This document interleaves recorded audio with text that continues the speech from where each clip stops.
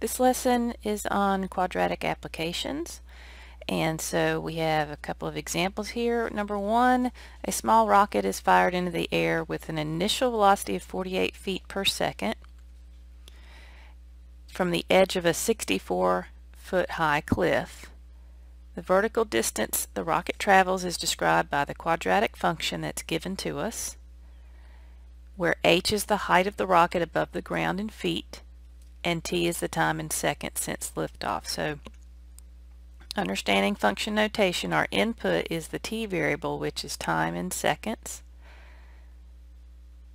And our output is h of t, which is vertical height in feet.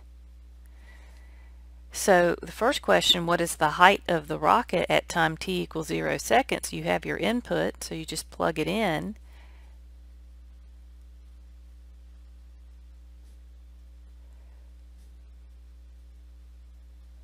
And you should understand that this answer should make sense. To interpret it, you'd say at zero seconds, the height was 64 feet, and that's what we were told. It's starting off on the edge of a 64 foot high cliff. cliff. Find h of 2 and interpret. Again, function notation, that 2 is the input, that's time in seconds, so we'll plug it in. We're going to use our calculator for this. I'll write it down. This is the show my work part.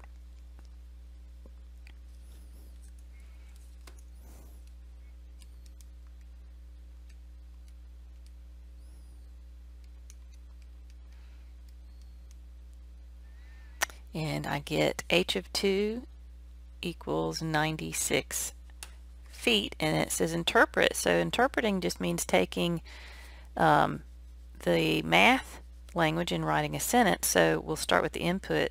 This is 2 seconds. So at 2 seconds the height was 96 feet.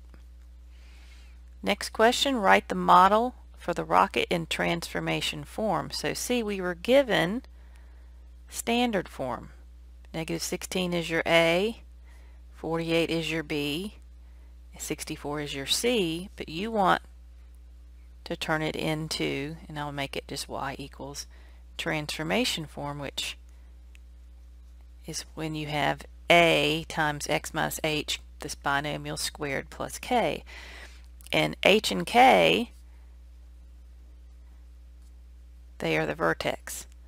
So we should remember how to find the special x-coordinate called h of the vertex. And we do that by using negative b over 2a. So our special x coordinate or t coordinate or in h, the special h, this x coordinate is going to be negative b, negative 48 over 2 times negative 16, which is 3 halves or 1.5 seconds. Then to find the special k coordinate, that's the output, that's the partner with the h, you just plug that that back in, that x coordinate back in to find the y coordinate partner for the vertex.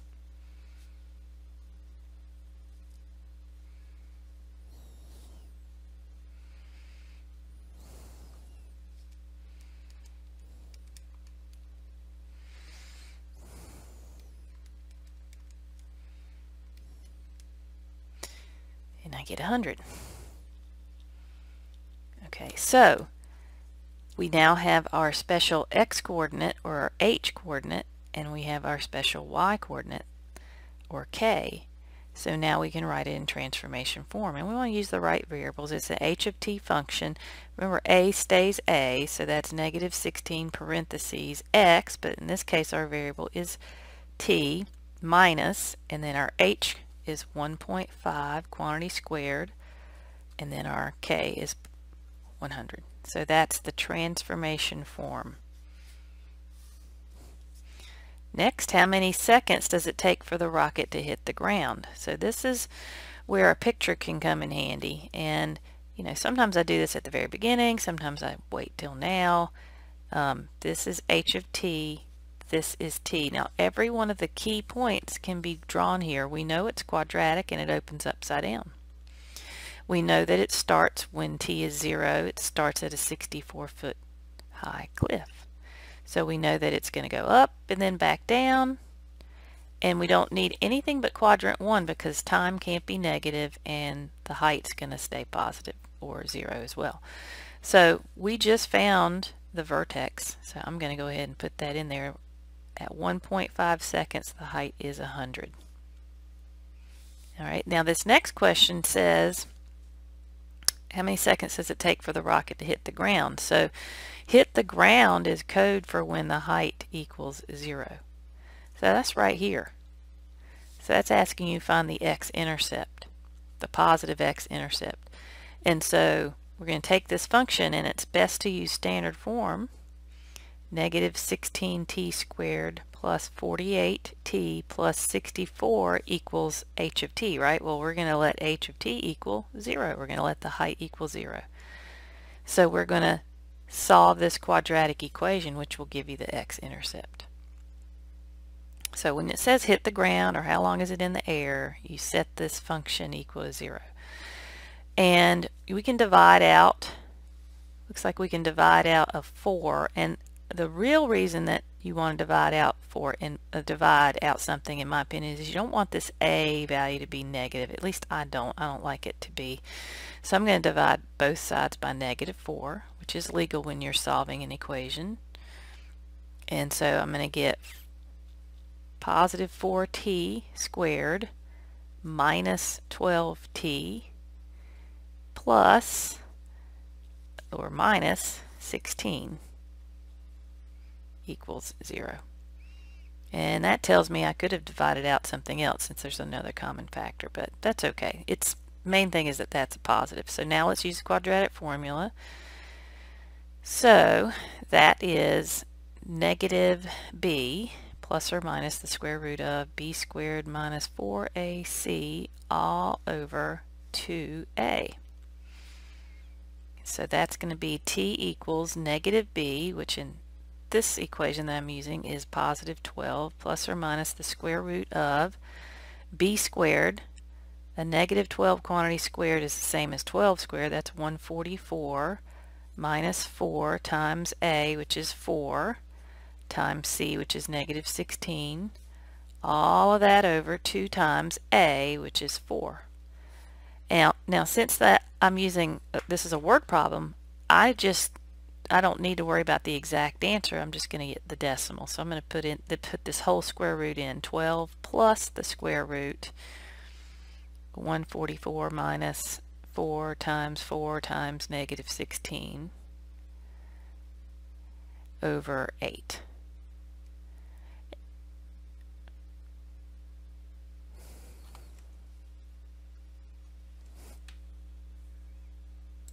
And I get four seconds. And now that's interesting. See how that's an integer answer?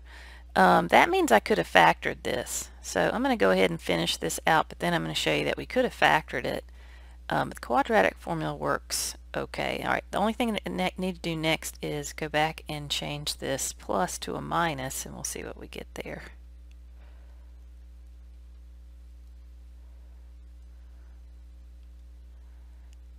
We get negative one second, which we know can't be. So it hits the ground after four seconds. So right here, where I started out by dividing it by negative 4, well, you notice this will divide out a 4 again. So if I divide out 4 again, I'm going to get t squared minus 3t minus 4 equals 0. So we didn't have to use the quadratic fact uh, formula because this actually factors into t minus 4, t plus 1 equals 0. And then you set each of these equal to 0 and you get t equals 4 seconds or t equals negative 1 seconds just like we got with the quadratic formula. So either way you can solve these by just using the quadratic formula or if it factors uh, solve it that way. E, what is the maximum height of the rocket that the rocket attains and how many seconds does it take the rocket to reach this maximum height. Well, we've already done that hard work because we found the vertex up here when we were finding the um, transformation form and I wrote it up here so we can see the answer to this is the maximum height of the rocket is 100 feet and it took 1.5 seconds to reach that max height. Okay, now this the second thing that this picture is helpful for are these um, increasing or, or uh, decreasing questions and domain questions. So F says what interval of time is the rocket increasing in height? Well, it's increasing in height right here. And the x values that are making that happen, that starts at 0 and goes to 1.5. And I put a bracket there because it's increasing at that instant uh, and we never put the bracket on the maximum. It's neither increasing or decreasing there. And then the domain, that's the set of x coordinates, and that's where you can go back and write this answer here. This was 4 seconds, right? So the domain, the set of x coordinates that work for this function are from 0 to 4. I'll remove my paper in a minute. And the range, the, the lowest height is 0 and the highest height is 100. So the domain is 0 to 4 and the range is 0 to 100. And all of these values are included in our domain and range. That's why we're going to use brackets. Okay, second example. Suppose you are standing on top of a 300 foot tower and toss a penny up an, with an initial velocity of 8 feet per second when the penny comes down, it does not land back on the tower, but it plummets to the ground below. This is the function that models it, and we want to know um, what is the height of the penny at t equals 0 seconds. So again, p of z 0, you put 0 here, and here it goes away, is 300 feet. So we'll go ahead and start with our picture and start labeling it. T is our time in seconds. That's our input. P of t is our height and that's in feet. And at zero seconds we're starting out at 300 feet. And it's a quadratic that has a negative so it's going to open upside down. So this is our picture and we're probably going to be asked to find those two spots right there. Uh, but before we do that it says find P of 1 and interpret. So I'm going to show my work. I'm going to plug 1 in for t.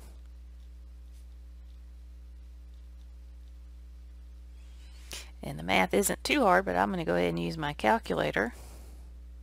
So negative 16 times 1 squared, that's negative 16, plus 8 times 1, that's 8, plus 300, that's 292 feet. And then it says interpret.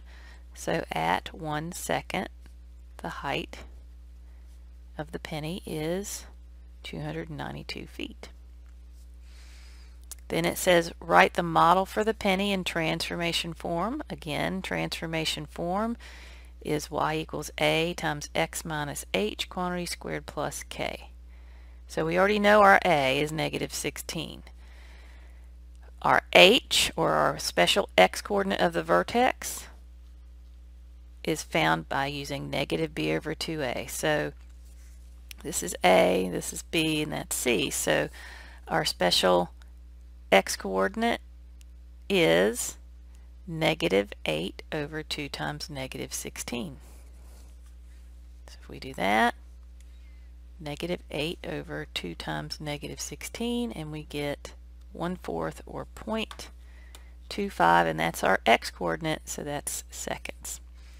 To find the y-coordinate partner for that, we just plug it in. So we're going to go here and plug it in. P of 0.25 is negative 16 times 0.25 quantity squared plus 8 times 0.25 plus 300. Okay, so we'll use our calculator.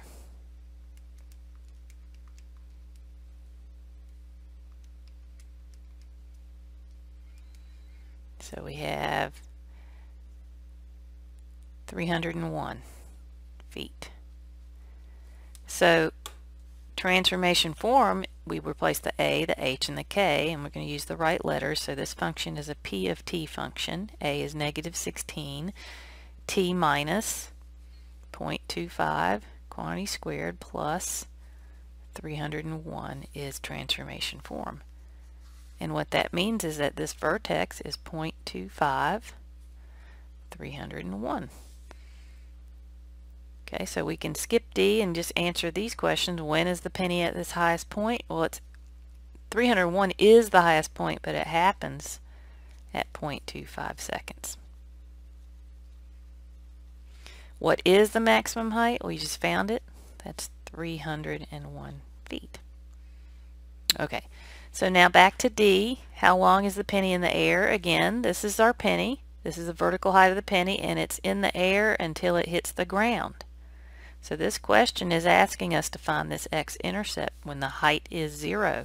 So again, what we'll do is we'll take this equation or this function and we'll set the height equal to zero. And again, you can divide out whatever you need to. I definitely don't want that 16 to be negative, so uh, 300 divided by 16 doesn't go in there perfectly.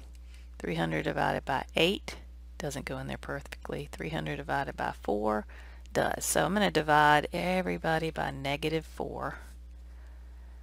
And that's going to give me positive 4t squared minus 2t.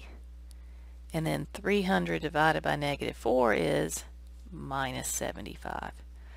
And we could try to factor that. I don't think it does. Let's just go ahead and use the quadratic formula, which is negative b plus or minus the square root of b squared minus 4ac over 2a.